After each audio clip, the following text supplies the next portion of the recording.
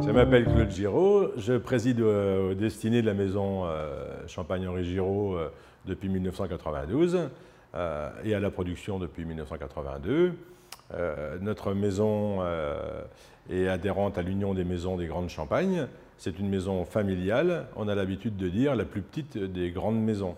Je suis la douzième génération de la famille Giraud-Aymar. Euh, qui, s'est installé en 1625 à Haï et a participé à l'épopée euh, du Champagne. En fait, quelques grands vignerons euh, champenois ont découvert et ont maîtrisé au début du XVIIe siècle les conditions climatiques extrêmes de la Champagne et, ont fait naître ce grand vin qui est devenu de réputation internationale.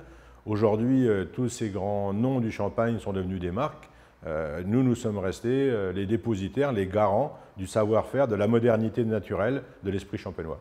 Haï, c'est vraiment le cœur historique euh, de la Champagne. À la fin du XIXe siècle, le Champagne s'appelait encore le vin d'Haï. C'est une petite colline de craie au sol très pauvre, exposée plein sud, où les raisins rôtissent, et avec la rivière Marne qui emmène toujours avec elle un courant d'air froid et humide qui donne ce petit côté mentholé, fraîcheur, qui fait qu'on a des pinots qui sont vraiment exceptionnels. Toutes les cuvées Henri Giraud ont ce style très particulier, marqué de générosité, de convivialité. Ce sont vraiment des, vins euh, à partager. La différence de la maison Giraud tient dans ces deux points essentiels, le terroir, Haï, la forêt d'Argonne, avec le G qui est aussi le G de Giraud. La cuvée phare de la maison, euh, c'est certainement hommage à François Aymar, euh, qui est l'hommage à l'ancêtre de la famille, qui est né en 1625 à Haï, qui est vraiment un travail particulier à la fois sur le terroir d'Aï, mais en même temps sur la vinification en bois.